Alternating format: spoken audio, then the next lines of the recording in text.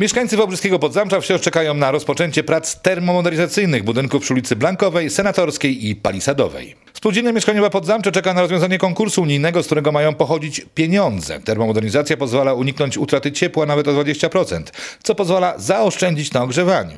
Dzięki pieniądzom z poprzedniego konkursu ocieplono i ociepla się budynki przy ulicy Basztowej, Blankowej i Palisadowej. Termomodernizacja idzie do przodu, jak szybko ruszyliśmy, jak tylko się troszeczkę ociepliło w ramach tego projektu unijnego, prawda, środków unijnych.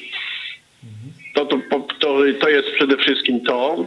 Czekamy na rozwiązanie kolejnego, y, kolejnego naszego wniosku, który znajduje się y, w Narodowym Funduszu Ochrony Środowiska, gdzie jest rozpatrywany wniosek na kolejnych dziewięć budynków. Projekt został złożony w maju zeszłego roku. Wyniki konkursu mają być ogłoszone w maju tego roku. Jeśli środki zostaną pozyskane, rozpocznie się ocieplanie trzech budynków na każdej z wymienionych ulic.